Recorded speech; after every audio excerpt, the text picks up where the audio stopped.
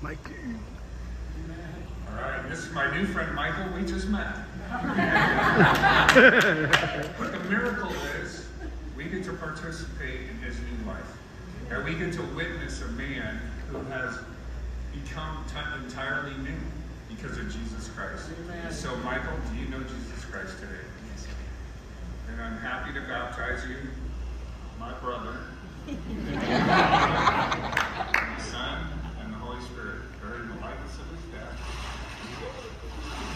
Good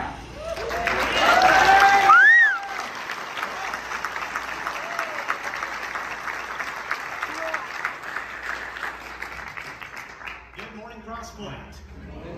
That's